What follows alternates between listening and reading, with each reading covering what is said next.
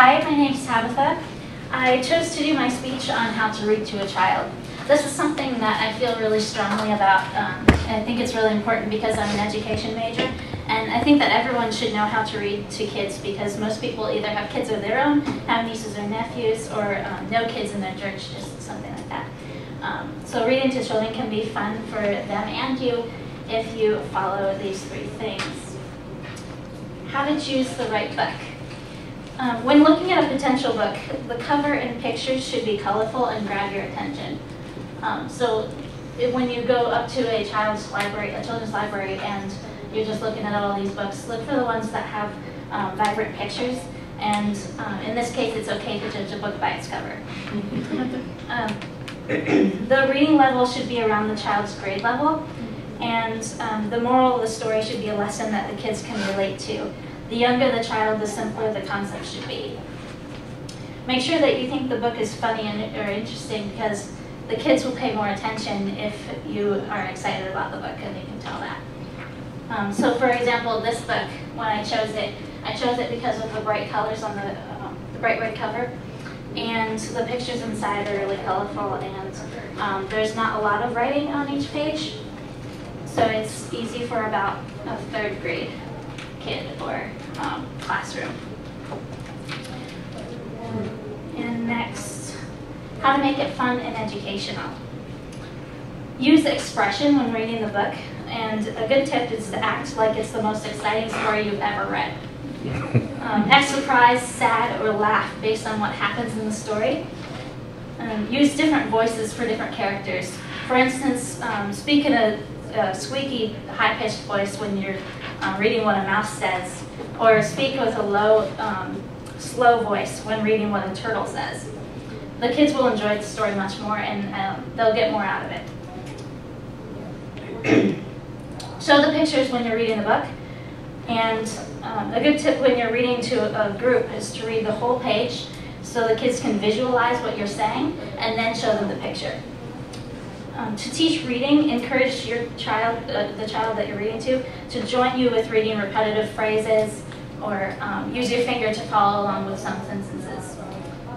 So, for example, I'm going to read a passage of this book. I wish I could read the whole thing, but I don't have time for that. Um, they started in the early the next morning, just as the sun was coming up. Soon a little boy came along. Do you think you will finish by sundown? He said to Mike Mulligan. Sure, said Mike, if you stay and watch us. We will always work faster and better when someone is watching us. So the little boy stayed to watch.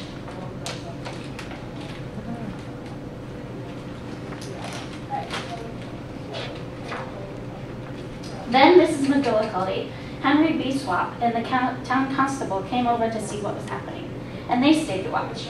Mike Mulligan and Mary Anne dug a little faster and a little better.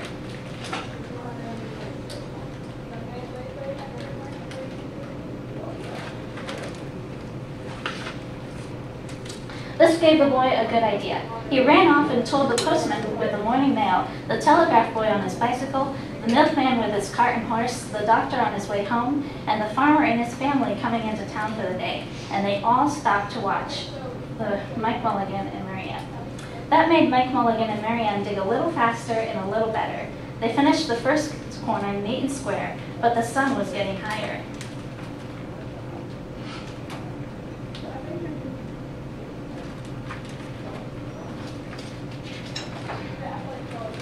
Clang, clang, clang! The fire department arrived. They had seen the smoke and thought that it was a fire. Then the little boy said, why don't you stay and watch?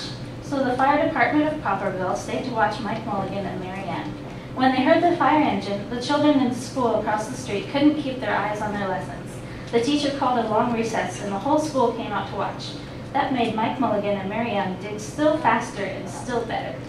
They finished the second corner neat and square, but the sun was right up in the top of the sky.